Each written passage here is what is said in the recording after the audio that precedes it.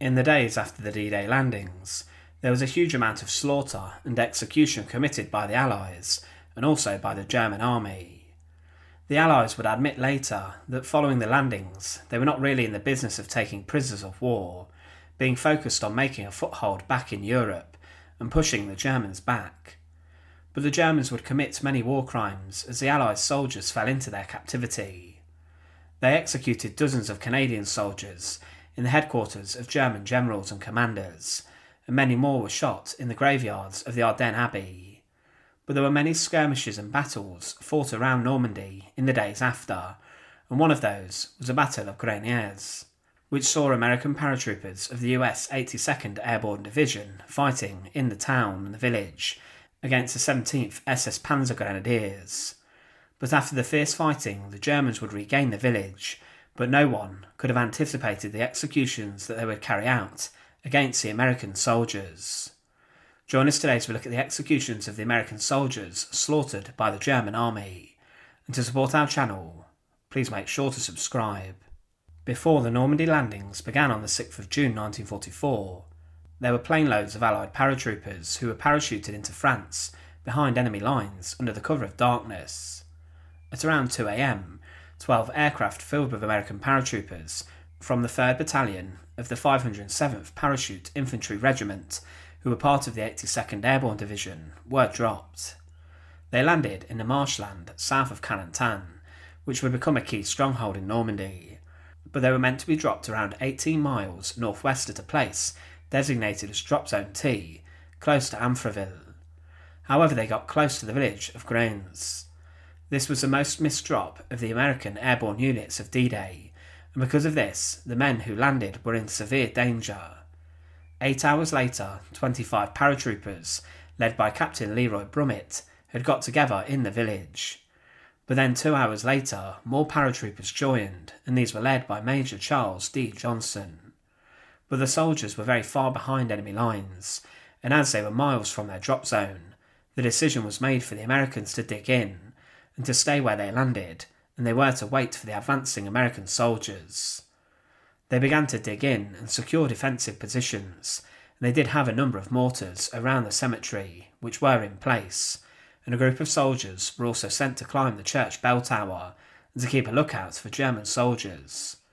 The lookout position was great, and the observer could see miles of roads and paths leading to the village of Graignes, but then a command post was set up at the boys' school there. They continued to dig in, and more misdropped Americans arrived in the village, and as the day progressed, a group of 182 Americans had gathered. But the village mayor that morning woke up and he cooperated with the Americans, and he later tried to ruse as many supplies as he could. The paratroopers were fed, and the French knew that this was treason, and would all result in execution if the Germans found out they were collaborating with the Americans, their enemies. The women of Graignes began to cook all day to provide meals for the Americans, and children also helped to gather equipment to help secure a perimeter. However, after a few days, trouble was on the horizon. In the afternoon of the 10th of June, a mechanised infantry patrol came towards a defensive position, and some of the Americans allowed the patrol to get close, and then they opened fire and killed four soldiers. When they searched the bodies, they found that this was a recon battalion was part of a bigger armoured division, meaning that it was possible that there was a panzer division nearby. But on the Sunday, everything was quiet, there was even a church service, but this was interrupted by a woman who ran in screaming, The Germans are coming, save yourselves. After this, there was a first assault, but the Germans could not get close to Graignes. Then the Germans around 2 pm started bombarding Graignes by mortar fire, and an assault was launched by infantry, who tried to flank the village, but the attackers moved quickly and the perimeter was almost breached.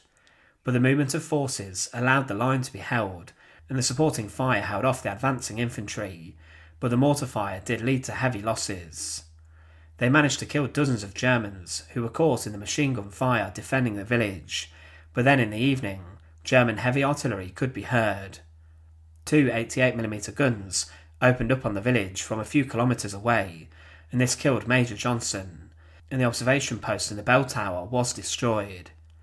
This meant that the Americans could not effectively use their mortars, but the Germans then pushed that night into Graignes, and there were just a few pockets of resistance, and many Americans ran out of bullets.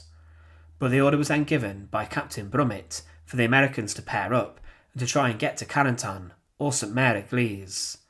The 17th SS Panzergrenadier Division had been conducting the last assault on Graignes, and when they attacked, they had around 2,000 men, meaning the Germans had 10 soldiers to every one American. The paratroopers did kill 100 Germans and wounded 200 more, but after the village fell, the 17th SS men went into the church and they found the aid station. Captain Abraham Sophian was a battalion surgeon who had been a paratrooper who had landed in, and he then surrendered the building to the SS men by waving a white flag, and the SS men then forced the captain and his two medics and helpers, along with 14 wounded Americans, to stand up against the wall. These were now technically classed as prisoners of war, and they should have been treated as this and protected under the Geneva Convention. They should have been processed and then sent to a prisoner of war camp, but what came next would show the horror of the SS. The wounded Americans were split into two and were slaughtered. One group of five men was taken to the edge of a pond, which was found close by, and the SS men then stabbed them with their bayonets before they dumped their remains in the water.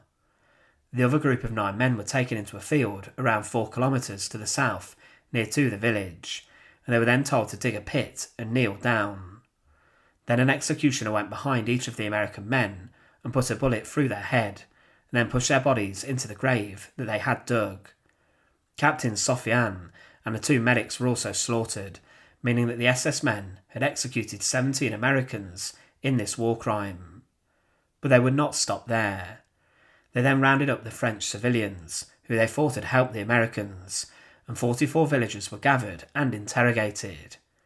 SS men then dragged two priests, they then shot them next to their rectory. They then slaughtered a woman and an elderly woman in their beds, and they ransacked the village.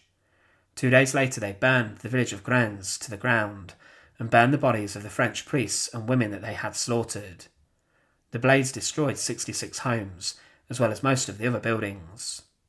The bravery of those Americans inside of the village of Graignes was remarkable, as they actually stopped the advance of the 17th SS Panzer Grenadiers, getting to a strategic point of Carentan before the 101st Airborne Division did.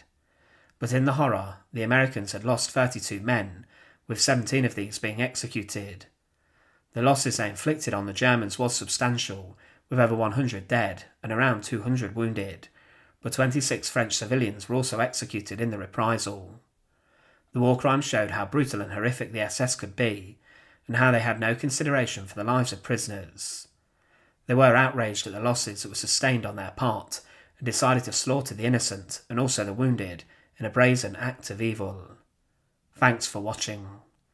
To support our channel, please make sure to subscribe, and once again, thank you so much for watching.